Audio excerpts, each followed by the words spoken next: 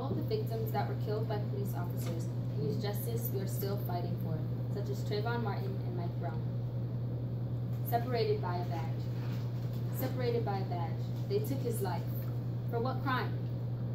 Wasn't even their time. All separated by a badge.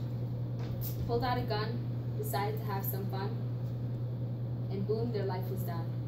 All separated by a badge. But what makes them different? Makes no sense. But what was their sentence? All separated by a badge.